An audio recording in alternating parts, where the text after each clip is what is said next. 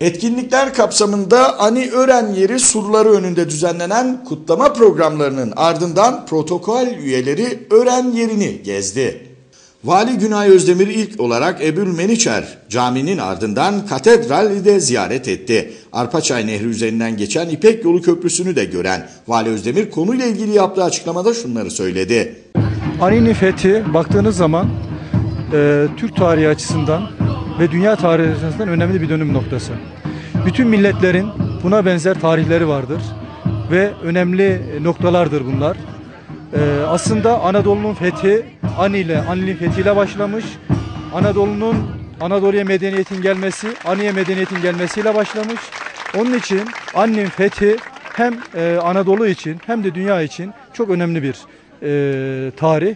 Biz de bu tarihi bütün e, Türkiye'ye ve dünyaya tanıtmak için ve bu medeniyeti bütün dünyaya tanıtmak için böyle bir faaliyeti başlatmış bulunuyoruz. E, Kars'ta da e, bu şekilde faaliyetler var, cirit faaliyetleri var. Normalde bu e, sürekli hale getirilebilir mi? Olabilir. Neden olmasın?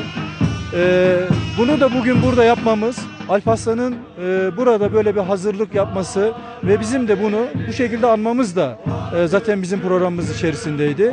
Bu değerlerimize bu şekilde sahip çıkmaya çalışıyoruz. E, biliyorsunuz e, Osmanlı'nın, Selçukluların bütün amacı fetihtir.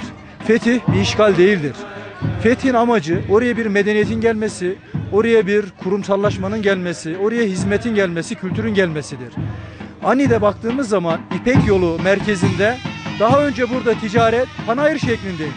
Ama Selçuklarla beraber ticaret kurumsallaşmış, çarşı oluşmuş, sağlık sektörü gelmiş, kültür merkezi oluşmuş.